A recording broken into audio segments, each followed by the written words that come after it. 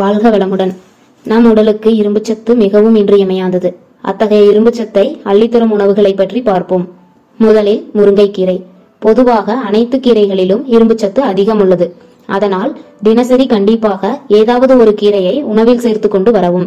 அதிலும் முருங்கைக்கீரையில் அதிக அளவு இரும்புச்சத்து உள்ளது. நூறு கிராம் முருங்கைக்கீரையில் நாலு மில்லிகிராம் இரும்புச்சத்து உள்ளது. அடுத்து பருப்பு வகைகள். அனைத்து பருப்பு வகைகளிலும் புரதச்சத்து இருப்பது மட்டுமல்லாமல் இரும்புச்சத்தும் கூடுதலாக உள்ளது. அதிலும் சோயாபீன்ஸ் சுண்டல் பாசிப்பயிறு போன்ற பருப்பு வகைகளில் இரும்புச்சத்து அதிகம் உள்ளது.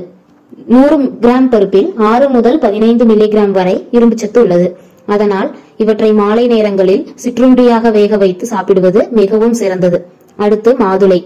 மாதுளையில் ரத்தத்தின் ஹீமோகுளோபின் அளவை அதிகரிக்கும் தன்மை உள்ளது. மேலும் இதில் இரும்புச்சத்து அதிகம் உள்ளதால் தினமும் ஒரு மாதுளையை சாப்பிடலாம். அடுத்து நிலக்கடலை. பாதாம் பிஸ்தா நிலக்கடலை போன்றவைகளிலும் இரும்புச்சத்து அதிகம் உள்ளது. அதிலும் எளிதாக கிடைக்கக்கூடிய நிலக்கடலையில் நூறு கிராமிற்கு நாலு மில்லிகிராம் இரும்புச்சத்து உள்ளது. அதனால் தினமும் ஒரு கைப்பிடி நிலக்கடலையை சாப்பிட்டு வருவது நல்லது. அடுத்து கம்பு. சிறுதானிய உணவுகளில் இரும்புச்சத்து அதிகம் நிறைந்தது கம்பு. நூறு கிராம் கம்பில் பதினேழு மில்லிகிராம் இரும்புச்சத்து நிறைந்துள்ளது.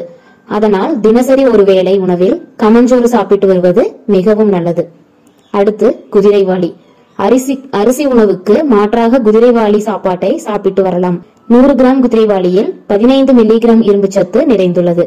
குதிரைவாளியை அரிசி போன்று வேக வைத்து குழம்பு ரசம் தயிர் சேர்த்து சாப்பிடலாம். இது போன்ற இரும்புச்சத்து நிறைந்த எளிய உணவுகளை அன்றாடம் சாப்பிட்டு ஆரோக்கியமாக வாழலாம். வாழ்க வளமுடன்.